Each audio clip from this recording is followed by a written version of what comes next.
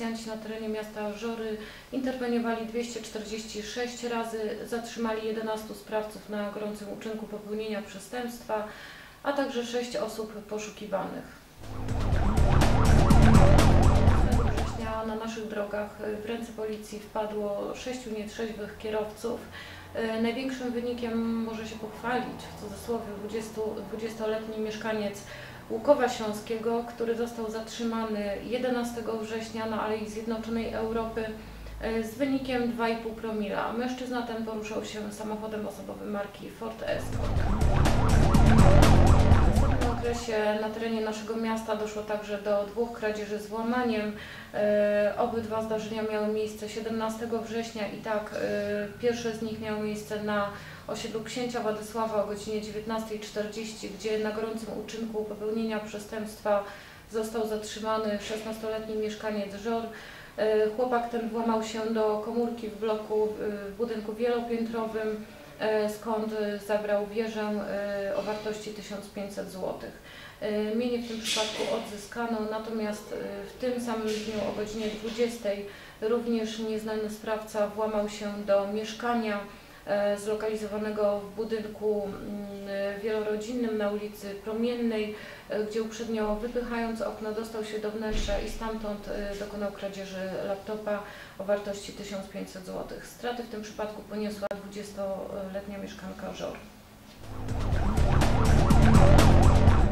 E, Przez ostatnie dwa tygodnie e, na terenie naszego miasta doszło także do trzech e, przypadków e, zniszczenia mienia. Mm, To jest 12 września o godzinie 19 e, na osiedlu księcia Władysława został porysowany Mercedes należący do 44-letniego mieszkańca Żor. E, Tutaj pokrzywdzony straty wycenił na e, kwotę 2,5 tysiąca złotych. E, Z kolei 15 e, września na ulicy Rybnickiej nieznany, nieznany sprawca bądź nieznani sprawcy przebili cztery opony w samochodzie osobowym marki Mercedes. E, Tym razem działali na szkodę 55-letniego mieszkańca powiatu pszczyńskiego, który straty wycenił na 960 zł. E, Także 17 września otrzymaliśmy zgłoszenie o zniszczeniu e, przęseł w betonowym e, ogrodzeniu przy zespole szkół nr 5 na ulicy Rybnickiej. Nieznani sprawcy rozbili przęsła, narażając zespół szkół na straty w wysokości 2000 zł. 13 września nasi policjanci interweniowali także na ulicy Wodzisławskiej, gdzie w trakcie prowadzonych prac ziemnych na terenie prywatnej posesji e, została odnaleziona amunicja z okresu II wojny światowej.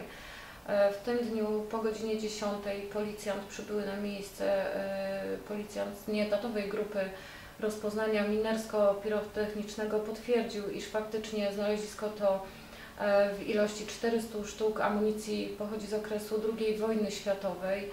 E, Dlatego też e, w tym dniu na miejscu zostały wstrzymane prace ziemne, została wy- wyznaczona strefa bezpieczeństwa, także wystawiony stały e, posterunek policji.